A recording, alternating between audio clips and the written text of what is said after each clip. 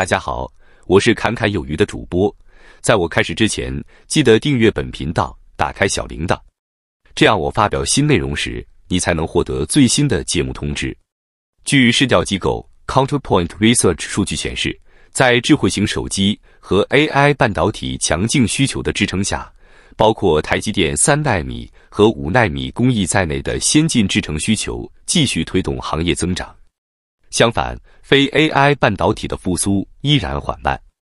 除中国外，全球成熟制程代工厂的利用率 UTR 维持在百分之六十五至百分之七十的较低水平。在成熟制程领域，十二英寸成熟制程的需求复苏情况好于八英寸制程。值得注意的是，中国的代工和半导体市场的复苏节奏超过全球市场。中芯国际和华虹等中国代工企业继续表现出强劲的 UTR 复苏。第三季度的 UTR 从上一季度的百分之八十以上上升到百分之九十以上。这一表现得益于无晶圆厂客户需求的提前复苏以及半导体本地化举措。然而，由于中国的晶圆代工企业，在过去几年中，一直在积极扩大成熟制程的产能。随着更多产能在二零二五年投产，成熟制程晶圆代工企业的竞争必将加剧。从各大晶圆代工厂的收入份额来看，台积电以百分之六十四的收入份额排名第一，三星代工厂以百分之十二的市场份额位居第二。中芯国际二零二四年第三季度业绩强劲。在消费电子、智慧型手机和物联网应用需求复苏的推动下，公司收入实现强劲增长，以百分之六的收入份额排名第三。接下来依次是联电百分之五、格罗方德百分之五和华虹百分之二。日前，DG Times 报道称，马斯克旗下的 AI 初创公司 xAI 已向辉达订购了价值十点八亿美元的 GB 二百 AI 伺服器。并获得了优先交付权，预计辉达将于二零二五年一月开始交付这些伺服器，由富士康代工生产。报道称，马斯克直接联系了辉达执行长黄仁勋，讨论了 xAI 的 GB 二百伺服器订单事宜。优先获得辉达的 AI 伺服器，有助于 xAI 更好地实现其目标。黄仁勋和马斯克之间一直有良好的关系。黄仁勋曾多次公开赞赏特斯拉，表示特斯拉在自动驾驶汽车方面遥遥领先。但总有一天，每一辆车都必须具备自动驾驶能力，这更安全、更方便，也更有趣。十一月，有消息称，马斯克正在与辉达讨论对 xAI 的潜在投资。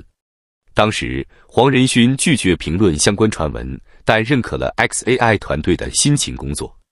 今年十一月下旬，xAI 在完成五十亿美元的融资后，估值达到约五百亿美元，在六个月内估值几乎翻了一倍。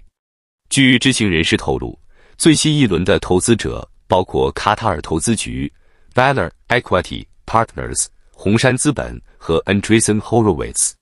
近日，还有消息称。马斯克旗下 xAI 公司计划最早于十二月推出其旗下 Grok 聊天机器人的独立应用程式，与 OpenAI 竞争。在此背景之下，据路透社日前报道，多位知情人士称，台积电正与辉达洽谈，讨论在台积电位于美国亚利桑那州的新工厂生产辉达的 Blackwell 人工智慧晶片。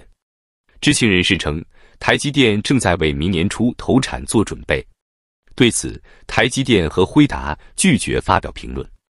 Blackwell 是辉达今年三月发表的 AI 晶片。辉达表示，生成式 AI 和加速运算领域的客户对其 Blackwell 晶片的需求很高，目前已经供不应求。据悉，在为聊天机器人提供答案等任务中，Blackwell 晶片的速度最高要快三十倍，同时功耗降低了二十五倍。知情人士称。协议一旦敲定，将为台积电亚利桑那州工厂争取到另一个客户。该工厂计划于明年开始批量生产。目前，苹果和 AMD 是台积电亚利桑那州新工厂的现有客户。报道提到，尽管台积电计划在亚利桑那州生产辉达 Blackwell 晶片的前端工艺，但这些晶片仍需要运回台湾进行封装。这是因为亚利桑那州的设施目前不具备晶片上晶圆基板 CoWoS 封装能力，这是 Blackwell 晶片所必须的关键技术。台积电所有的 CoWoS 封装产能目前都集中在台湾。台积电是世界上最大的合同晶片制造商，如今正投资数百亿美元在美国凤凰城建造三座工厂。辉达目前正在全力生产 Blackwell 晶片。且在努力扩大明年的产能，但仍将供不应求。研究公司 Creative Strategies 的执行长兼首席分析师 Ben Bajarin 表示，与之前的晶片相比，Blackwell 采用了更先进的封装技术，这就增加了一个难题。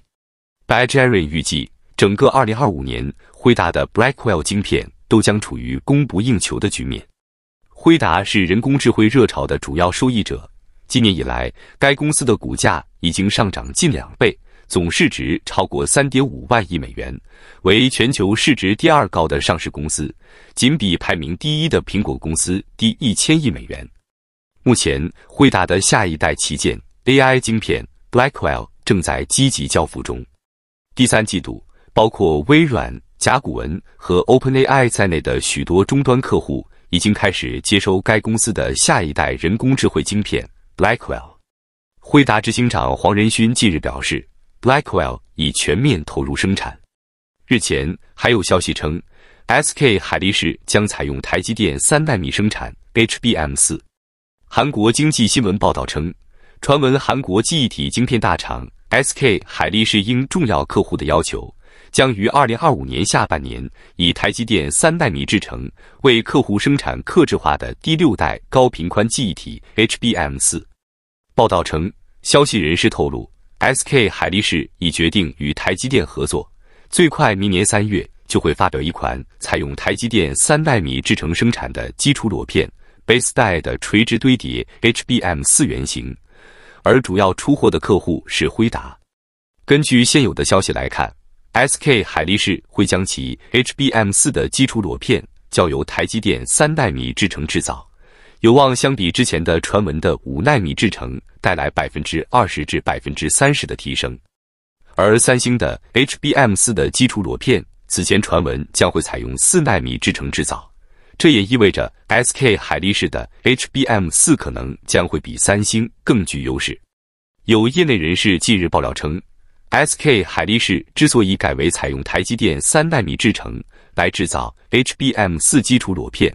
是为了应对三星以四纳米来生产 HBM 四基础裸片的声明，结果三星现在也考虑以三纳米生产 HBM 四基础裸片，甚至可能选用台积电的三纳米制程。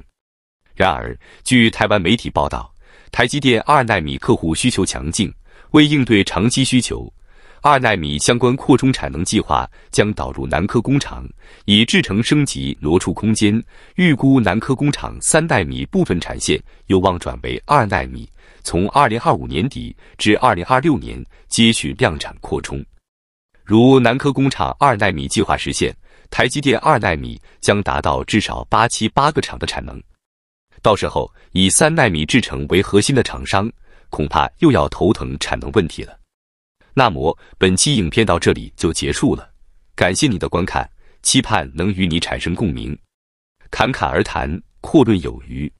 最后，请你点赞、订阅，这是对本频道最大的支持了，谢谢。